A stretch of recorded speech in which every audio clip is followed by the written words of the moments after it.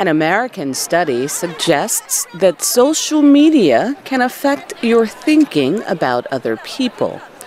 We asked young people how many friends they have on Facebook. I've never actually like stopped and looked at it. Probably somewhere between like 350 and 400. I don't know. I would definitely be on Facebook all the time. Like, wow, she's here, he's there.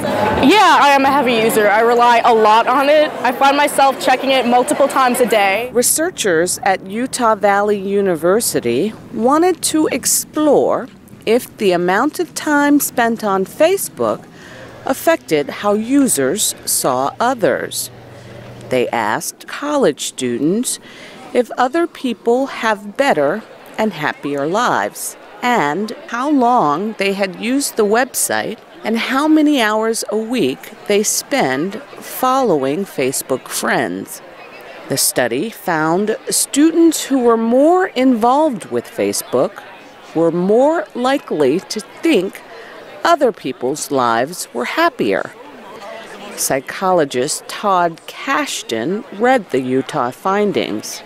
They're hearing all these great things happening from other people and feeling that they're making a downward, a downward comparison to themselves, such that they're viewing themselves as my life is as interesting or as satisfying as other people's lives look like. It is easy to think that one's Facebook friends are always happy because they usually tell only about good things in their lives.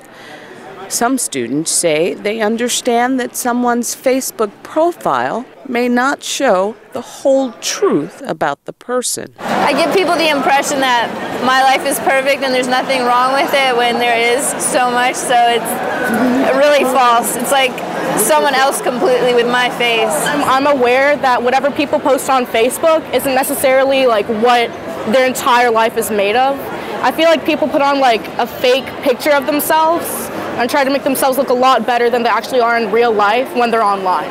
Todd Kashdan says it is important to live your own life.